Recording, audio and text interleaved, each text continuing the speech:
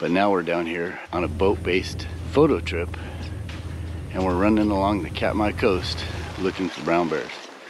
There's about 2,000 brown bears that live along this coast and we're gonna be cruising into some of these bays and trying to film these bears fishing. It's time for them to put on the pounds and this is the place to do it. We've had so many cool experiences out here. We've seen so many bears. We've been into so many bays, more than we've ever done before. So I'm excited to share with you guys all the footage that we were able to get.